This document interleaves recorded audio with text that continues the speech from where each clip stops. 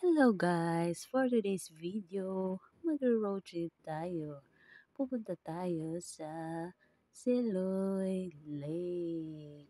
Kasama ang aking driver, ang aking very supportive pinsan, at siya daw muna ang aking driver for today's video. Let's go! At medyo malapit na kami sa aming final destination Medyo rough road nga lang ang aming dinadaanan pero okay lang naman. And finally, welcome to Siloy Lake. Sa halagang 20 peso, pwede ka nang makapag-tour at makapag-picture all the way. Ang Siloy Lake ay matatagpuan lang yan dito sa Calamba, Misamis Occidental. Napaka nice na place nila at pwede ka mag-overlooking sa kanilang lake.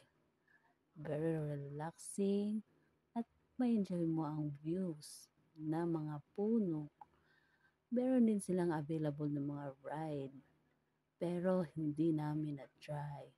Meron din silang mga available na cottages along the side the lake. Meron din silang floating cottage. And that's all for today's video. Please watch till the end. Bye bye.